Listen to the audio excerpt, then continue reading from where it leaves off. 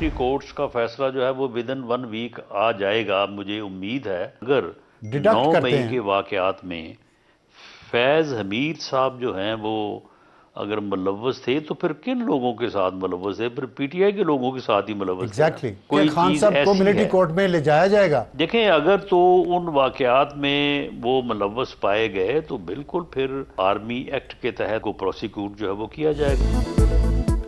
9 मई से मुतालिक military court का फैसला एक हफ़्ते में आ जाएगा। बानी पीटीआई मुलवस पाए गए तो उनका ट्रायल फौजी अदालत में होगा। अगर फैज हमीद भी जलाओ घिराव में मुलवस हैं तो इसका मतलब वो पीटीआई के साथ हैं। वज़ीर आज़म के मुशीर राना सनाउल्ला का प्रोग्राम मेरे सवाल में बड़ा बयान, कहा सानिया नौ मई की मनसूबाबंदी बानी पीटीआई ने की। एक साल तक तकरीरों के ज़रिए लोगों की जहन साजी पर ट्रायल होगा। किसी की हिदायत शामिल थी तो वो भी कटहरे में आएगा।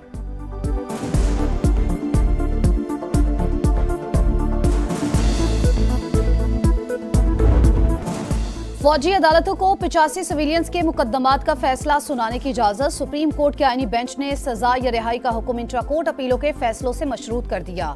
करार दिया, जिन मुलजमान को सजाओं में रियायत मिल सकती है, उन्हें रिहा किया जाए। जिनका ट्रायल मुकम्मल हो चुका, उन्हें जेलों में मुंतकिल किया जाए।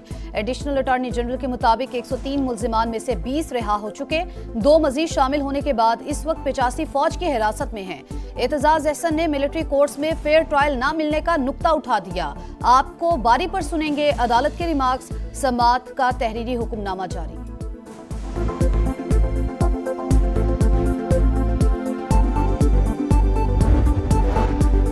फौज में कोई शख्स ज़बरदस्ती नहीं, अपनी मर्ज़ी से जाता है। वो जानता है उस पर आर्मी एक्ट का इतलाक होगा। बुनियादी हुकूक मैसर नहीं होंगे। जस्टिस जमाल मंदुखेल के रिमार्क्स, जस्टिस अमीनुद्दीन खान ने कहा फरीकैन अपनी मारूजात तक महदूद रह सकते हैं, लेकिन अदालत नहीं। जस्टिस मोहम्मद अली मजर ने रिमार्क्स दिए, नौ मई वाकयात की तफसीत फराम करने का कहा था।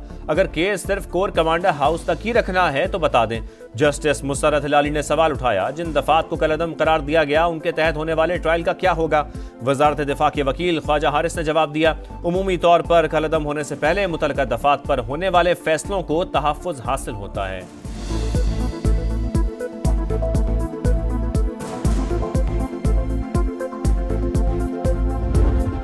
खान साहब का मिलिट्री कोर्ट में ट्रायल, उनकी बेगम साहिबा का, उनके हवारियों का, क्योंकि शवायद फैज हमीद साहब बहुत पहले दे चुके हैं। मेरी तो बड़ी क्लैरिटी है जब फैज हमीद जो है, जो ताकतवर हल्के के और ताकतवर इदारे के, ताकतवर आदमी थे, जब उनका इंतसाब होगा और उन पर ऐसी कोई शिक लगेगी तो क्या आप समझते हैं दूसरों पर नहीं लगेगी?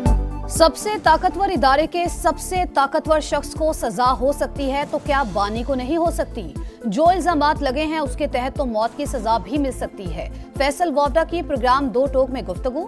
दावा किया, फैज हमीद तमाम शवाहिद दे चुके हैं। बानी का मुकदमा मिलिट्री कोर्ट में चलना कोई अनहोनी बात नहीं होगी। चैंपियंस ट्रॉफी फ्यूजन फार्मूले के तहत होगी। पाकिस्तान की तमाम शराय तस्लीम भारत ने हथियार डाल दिए। आईसीसी की भी हाँ फार्मूला तमाम बोर्ड्स के अहदेदारों की मौजूदगी में तय हुआ। इंटरनेशनल क्रिकेट काउंसिल का इजलास आज फिर होगा। शेड्यूल का ऐलान एक दो रोज में मुतव भारत तमाम मैच दुबई में और शाहीन भारत में शेड्यूल इवेंट न्यूट्रल वेन्यू पर खेलेंगे। वर्ल्ड कप 2026 में पाक भारत टाकरा कोलंबो में होगा। पाकिस्तान एक और आईसीसी इवेंट की मेजबानी करेगा। भारतीय मीडिया का दावा।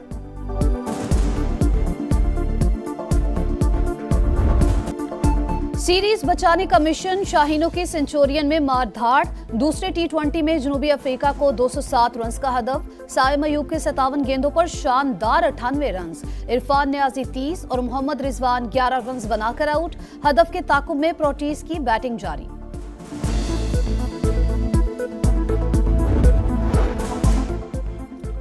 इस्लामाबाद में पीटीआई एहतजाज के दौरान रेंजर्स एहलकारों की शहादत मनसूबाबंदी अडियाला जेल में की गई। वाक़ बानी पीटीआई के ईमा और हुक्म पर हुआ।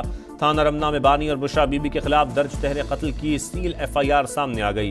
वतन के मुताबिक अली अमीन गंडापुर, उमर अयूब और वकास अक्रम ने हमत अमली बनाई। बुशरा बीबी और दीगर ने वीडियो पैगाम के ज़रिए लोगों को मुश्तिल किया।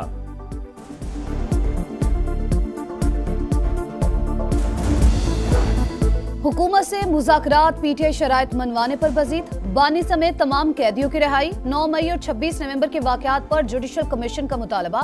बानी पीटीआई ने नेक नियति से मुजाकराती कमेटी बनाई। हुकूमत बातचीत करे तो मुल्क आगे बढ़ सकता है। उमर अयूब की गुफ्तगु इल्ज़ाम की बुछाड़ भी कर दी। कहा, पुरम एहतजाज पर फायरिंग की गई। जिम्मेदार वज़ीर आज़म और वज़ीर दाखिला है। असद कैसर बोले, भीख नहीं मांग रहे। अगर कोई एक बार बात नहीं करता तो हम दस बार मुजाकर नहीं चाहते।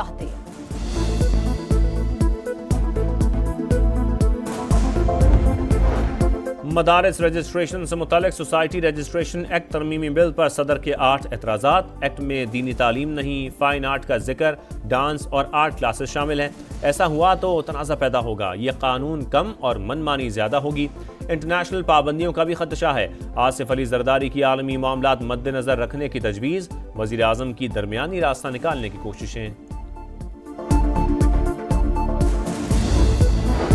दहशत गर्दों के खात्मे का मिशन सिक्योरिटी फोर्सेस को बड़ी कामयाबी, अमन के तैंतालीस दुश्मन हलाक। खैबर पख्तूनख्वा और बलूचिस्तान में ऑपरेशन आईएसपीआर के मुताबिक चार रोज के दौरान केपी में अठारह ख्वार जहन्नू वासिल। बलूचिस्तान में अमन के पच्चीस दुश्मन अंजाम को पहुँच गए।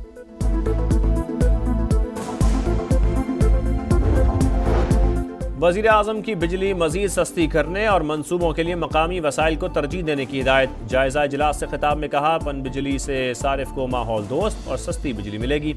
मौजूदा इस्तेदाद को भी शमसी तोानाई पर मुंतकिल किया जाए। शहबाज शरीफ से ताजिकिस्तान के वज़ीर तोानाई की मुलाकात। दोनों ममालिक के दरमियान मुख्तलिफ़ शुबों में ताउन में पेशरफ पर इतमान का इजहार।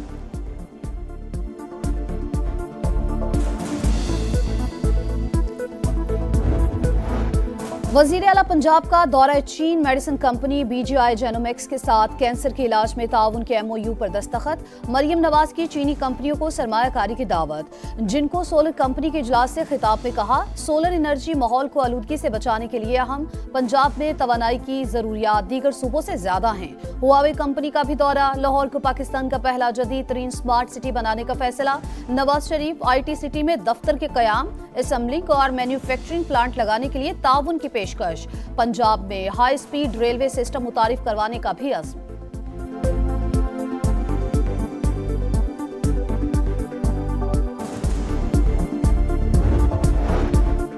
सिंध में ट्रांसपोर्ट मुतबादल तोानाई और ज़रात के शोबों में सरमाकारी करेगा। मुफाहमती यादाश्त पर दस्तखत कराची से सखर तक तेज तरीन ट्रेन मनसूबे में इन्वेस्टमेंट भी शामिल। शर्जील मेमन कहते हैं, तमाम तर प्रोपेगेंडे के बावजूद सरमाकार पाकिस्तान आ रहे हैं।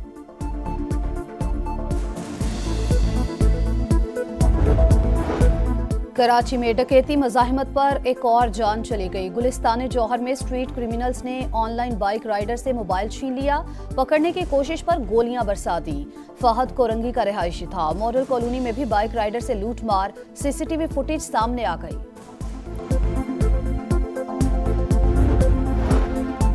शाम में बशारुल असद की हुकूमत का खात्मा दमिश्क में नमाज़ जुमा के बाद बड़े पैमाने पर जश्न। अबूरी वजी अजम मोहम्मद अल बशीर का मस्जिद में खिताब आवाम को मुश्किल से निकालने की यकीन दहानी। इदलब, लताकिया, हलब और हम्स में भी लोगों के नारे।